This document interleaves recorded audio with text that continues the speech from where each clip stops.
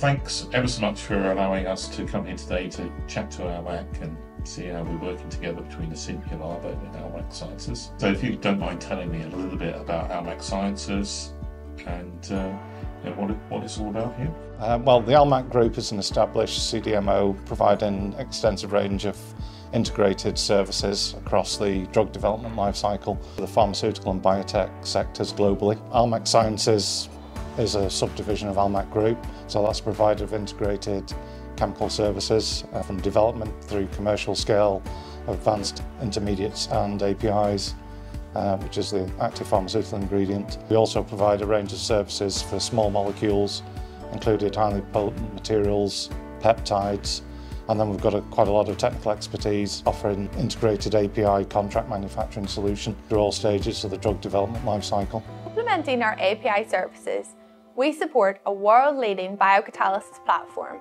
to secure the supply of biocatalysts for non-GMP and GMP manufacturing projects alike. Additionally, our technology group services are supported by specialist departments, including carbon-14 radiolabeling, pre-formulation, solid-state services, and analytical support, ensuring the needs of our clients' drug development programs are fully met whilst maintaining our track record of saving time and costs.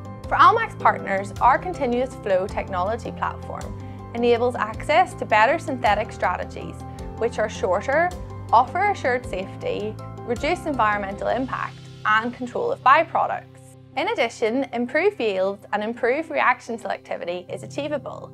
With the reaction under tight control, the isolation of the product can be easier due to lowering of downstream process purification as a result of the higher quality product output. So why did Almac extend its synthetic capabilities to 10, 20 litre scale? Um, Almac Sciences has grown rapidly over the last five years with significant investments in our non-GMP and GMP manufacturing plants.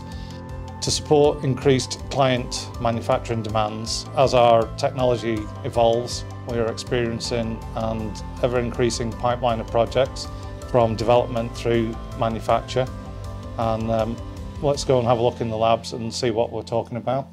So Richard, thanks for bringing me to the laboratory. What role do the Asynt reactors have in process development and scale up? Yeah, so um, when we got the reactors, it was a simple choice to specify the atom stand because then we can lower it to charge starter materials, we can raise it up um, to make it safer when we're handling things in the lab.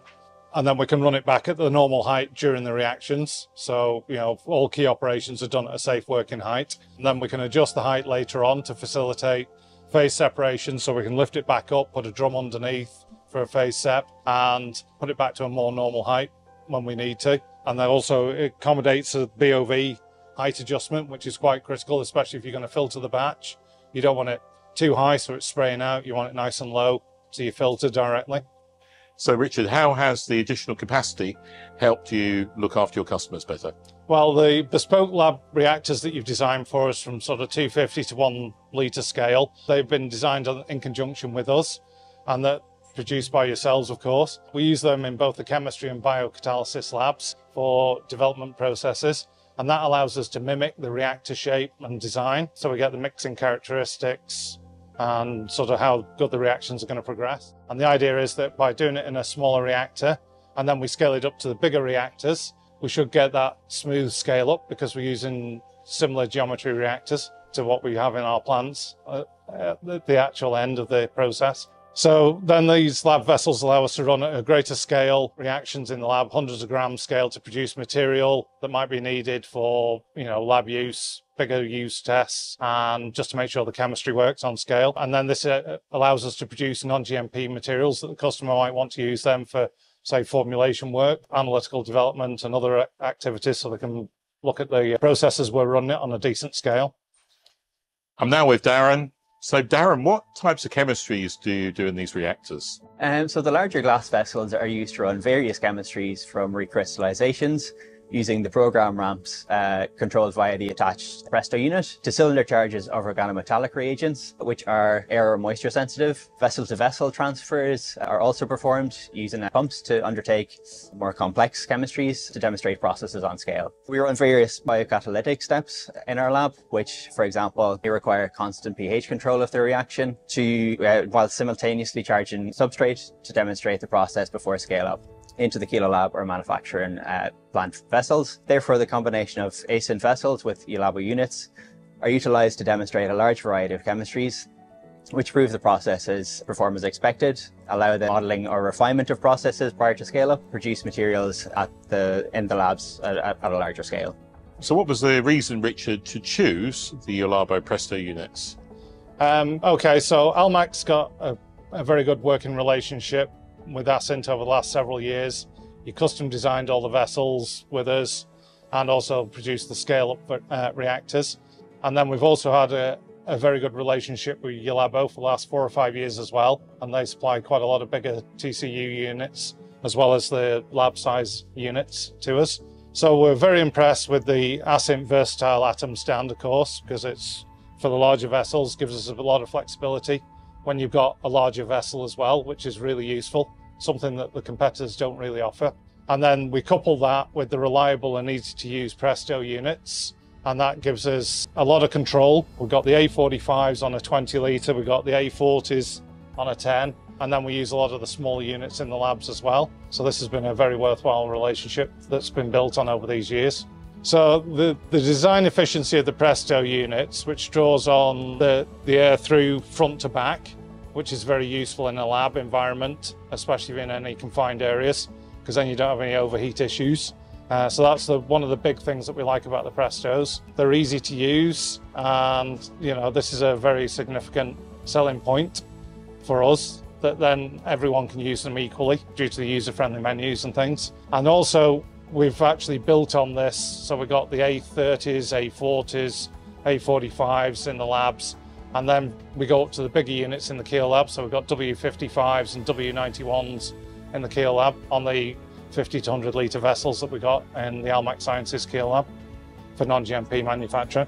And then in GMP labs, we've increased our capacities as well. So we've replaced a lot of older units with Presto W50s and they're sort of on 10 to 30 litre and up to 100 litre vessels in the GMP operating uh, areas in the small scale GMP teams.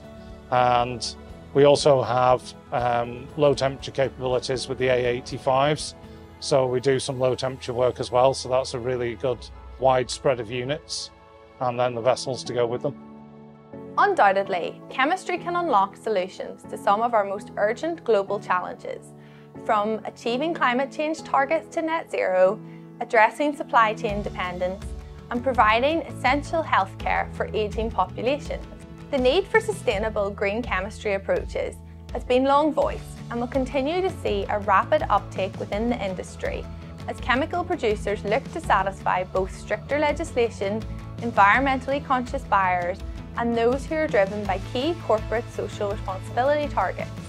Pharmaceutical and fine chemical industry continues to innovate, and as new chemical entities and targets are selected, CDMOs like Almac need to have an armoury of technologies at their disposal to be able to synthesize these products from gram to potentially multi-ton manufacture efficiently and effectively and at the right price.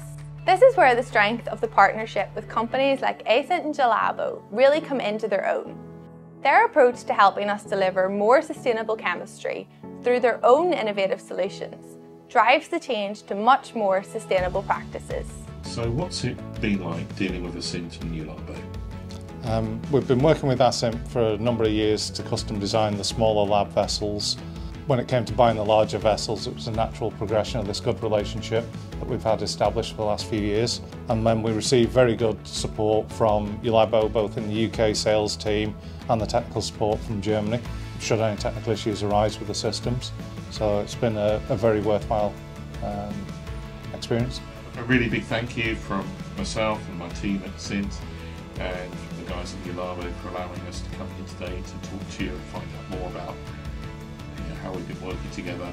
It's, it's fantastic to hear So really, thank you very much for today. Yeah, thank you. Thank you.